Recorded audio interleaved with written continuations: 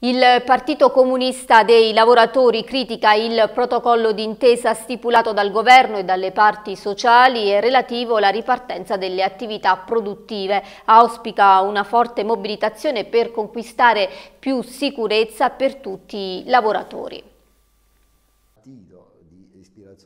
Nel Partito Comunista dei Lavoratori sono sicuri di un fatto, che il protocollo d'intesa tra il governo Conte e le parti sociali sia un percorso che di fatto sacrifica la salute dei lavoratori alle esigenze del profitto, una situazione che afferma ovviamente riguarda anche la classe lavoratrice molisana, dalla FCA di Termoli alle aziende del Basso Molise e sino al nucleo industriale di Pozzilli.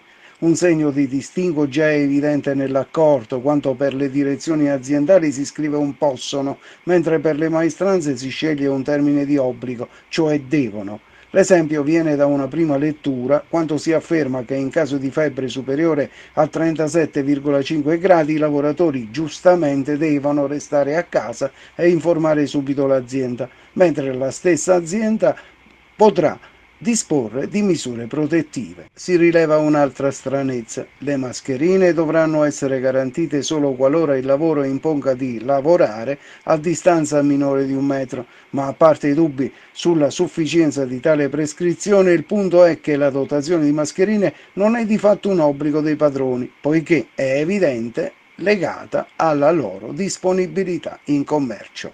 È facile intendere che se in commercio non se ne trovano non c'è nessun obbligo padronale. Naturalmente a ciò si aggiunge la grave deficienza dei tamponi e test sanitari che sono essenziali.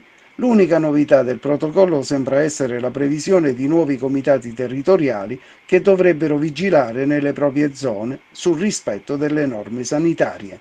Ma questo, affermano dal Partito Comunista dei Lavoratori, è un punto indefinito e fumoso.